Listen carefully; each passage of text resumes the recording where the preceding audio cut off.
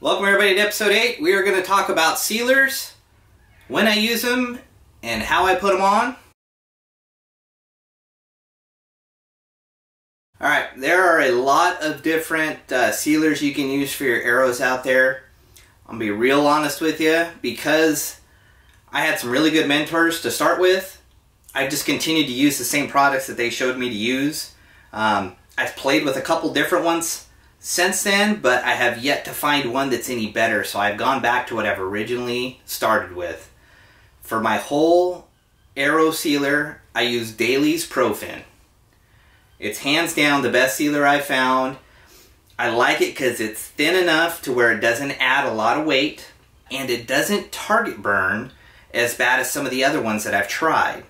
And what target burn is, for those of you that, that might be brand new to this, uh, wood arrows have the tendency when you're shooting into a 3D style target or a foam target, sometimes the target will burn itself onto the arrow because of friction and it will be hard to pull out and after a while there will be buildup on the end of your arrow.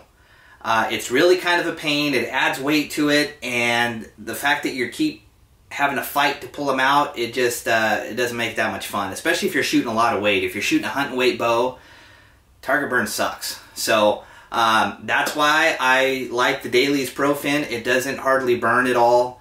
Uh, even on some of the cheaper uh, 3D targets that don't use the real high quality, it, it seems to perform very well. Okay, the other reason I like the Profin is it holds up very well to moisture. I live on the wet side of Oregon. We get rain here a lot. In fact, November is one of our rainiest months of the year, and that's usually when I want to be out blacktail hunting. So, uh, on all of my arrows, I will put four coats of sealer on them, and I've never had a problem with uh, water infiltration with moisture getting into the shaft, even on the arrows that I've shot for a while. So, um, you know, after you shoot them, you might get a nick, you might get a bump. Even at that, I the the sealer seems to hold up to where I don't get moisture in there. Um, my arrows don't go crooked, and it just seems to hold up very well. So uh, again, if it ain't broke, I don't fix it. Um, I may try another one uh, one of these days, but uh, I just haven't had any need to. So I know that the Daly's can sometimes be hard to find, or at least they have been in the past, but I just found out they are on Amazon. So uh, if you want to try some of this, uh, look them up on Amazon. And uh, it, it is expensive. It's not very cheap, but uh, so far I found it to be worth it. Now the best way to apply a sealer that I found is to free dip it. Put in the dip tube, and I'll demonstrate here in a little bit, but I'll put in the dip tube, dip it in there, and allow it to just drip off and again, that's why I like the Daly's. It's thin enough. It's thin enough that it doesn't cake on. Um, I have tried gasket lacquer early on because it is very quick. I don't like it. I don't think it gives you as good of a finish as free dipping. Um, the the layers are almost too thin and they don't hold up well. So, and that was with me putting four to five coats on there. I think it's as most as I put on because if, if I do any more than that, um, I might as well just free dip then. So uh, again, if you're using that now and it's working for you, go for it. Uh, that's one thing about this is, is I'm showing you my methods of making wood arrows and it's been successful for me. But it doesn't necessarily mean that that's the only way. That's that's the beauty of, of traditional archery and doing that. And if you guys have a better way or something else you're having good luck with, please leave a comment below so uh, it's something that not only I read, but all the other viewers, and we can kind of figure this out together. I'll show you how I free dip on the entire shaft here next.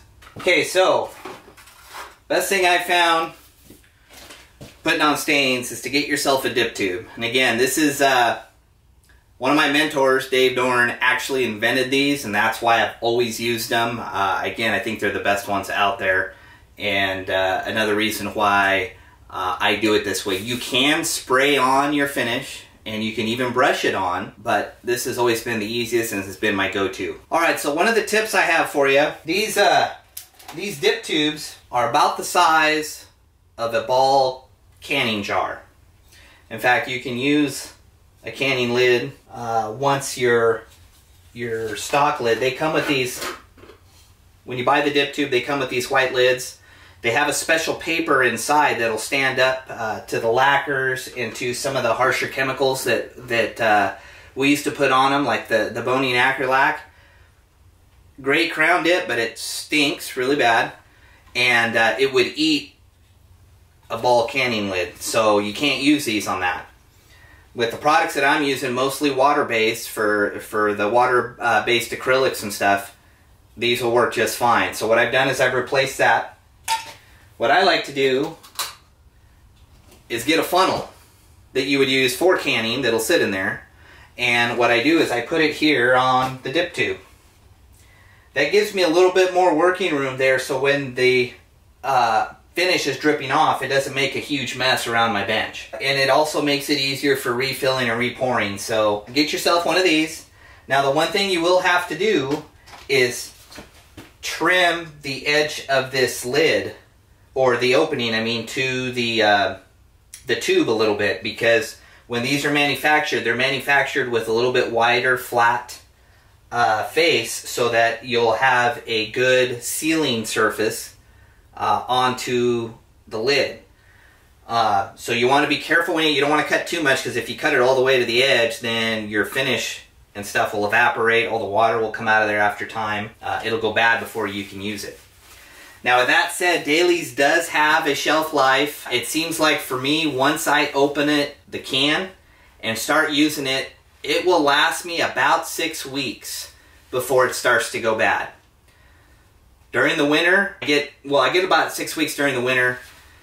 Depends on how many arrows I'm making. Right now, I'm making enough to where I use it up before it goes bad on me. During the summer, I might, depending on the humidity and the temperature in the room, it, it, that time will shorten.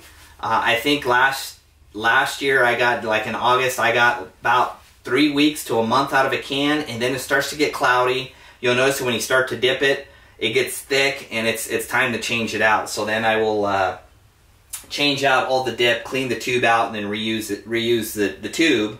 But then I'll have to go buy a new a new can. So that's something to think about if you're going to try doing this for yourself, and you're only going to build two to three dozen, I'd say, a year. You might have better luck if you take the, the, the finish out of the tube and pour it back into the can and put the can seal on there real tight. That might get you a little bit of time, but uh, take that into account when you're starting to factor in the money. Like I said in the first episode, if you're going to try to do this to save yourself some money, you probably won't. You gotta you you gotta be into making your own arrows because you enjoy the work and you want the satisfaction of being able to use something you've made with your own hands. Uh, now, for this dip, we're to dip these shafts that I've already stained with the body stain. I'm going to put a white crown dip on this afterwards. And so like I said, this dip will, or this sealer will yellow the colors of your dip a little bit, or the colors of your cresting. So I'll show you how to get around that here in a second. This is what the first steps are. So when you get your arrow, they're already cut to length, they're tapered on both sides. I take, I get these uh, paper clips or clothesline clips with a little bit of rubber inside. They get good teeth that way. And it holds on pretty good. Uh, I have seen some guys take wire nuts from electrical wire nuts and screw them onto the top and then grab onto those with clips and that seems to hold it. But these little rubber ones for me are the easiest. They just grab on. Clips last a long time. So the thing with the nice thing about these tubes is you can do a couple at a time. So I made myself this little hook and I'll hang one and that one is dripping off in the tube. So I'll take this and I'll get another one. And by the time I dip this other one, this first one is done dripping or streaming off and then I just hang it. On my dipping station here, I've built uh, this little tray at an angle and it goes into a waste bin down here that uh, I just swap out and clean out from time to time.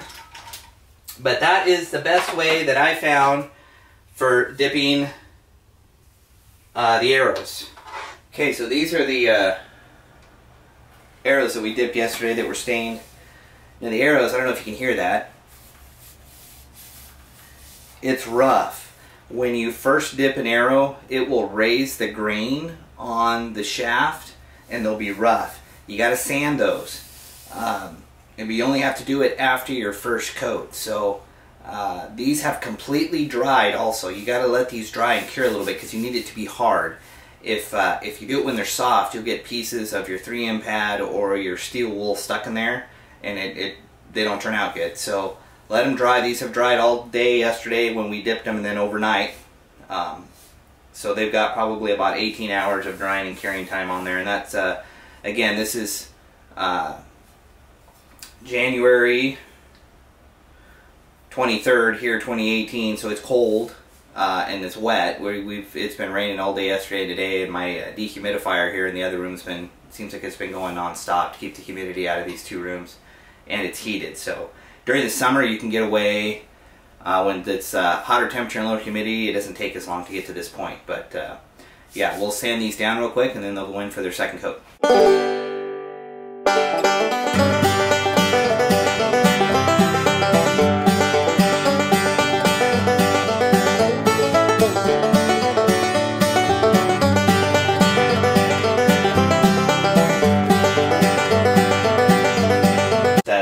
Second coat, let it dry 12 hours. Do the third coat, let that dry, and then I'll crest them. Um, and then we'll do dip in the poly, and then we'll turn around and tip dip them for the fourth and final coat, and then that'll this arrow will have a complete uh, four coats of sealer across the entire shaft. Okay, so if you're going to want to use a Testors or an enamel to uh, crest with or you want that nice bright white crown dip, this is how you're going to get around it. This arrow is still sealed with three coats of the Daly's Profin. Um, after I've coated it three times and I allow it to dry, I will then crest it. Okay, and I'll knock some of the gloss down with a 3M pad or a uh, stainless steel to give it teeth. So these are crested and dried. Okay. And then I'm going to dip them in a white water-based or a water-based polyacrylic. I've tried the Minwax. I didn't quite like the way it, uh, the texture of it or the way the glue adhered to it. So since then I've gone to a Bohning. Uh, I started out with their Crestlac or their Acrylac, uh, which comes in a can looking like this. Uh, this is their Crestlac here is their new product. It's a clear color, so I will use that to go over the top of this. And I know that all my adhesives will fit uh, attached to it well, and uh, it has not let me down. I've probably done 300 dozen arrows using this method, and uh, it works great. So uh, give this a try. Now to put it on, I'm going to dip it the same way you did the, the sealer on there, or I did. Gonna clip this on. Now just a word of caution, this does come out a little milky white color when you first dip it. Don't let that freak you out. It will dry crystal clear and that's how you get the bright white look after you crown dip those. So I have it here in the tube. I just mix it up a little bit. I will dip just past a good quarter inch uh, past the end of the uh, crest and then I will let it drip off a little bit. Once it goes once it stops streaming off and goes to a dip like I showed you before it's the same concept as a crown dip. I'll just hang it up here and let it dry. And that's how you'll get that crystal clear look to get you that bright white appearance. Okay so now we have dipped the back half in that poly. Now what we do is turn it around and I'll dip in the Daly's Profin again from just below the crest to the tip and that will seal the entire arrow. Then the arrow will then have four coats of sealer on it. Uh, now you can overlap a little bit. It, uh, that's no big deal because the water or the uh, the poly is is protecting the uh, cresting. You just don't want to go over it too much because again it will have a yellowing effect.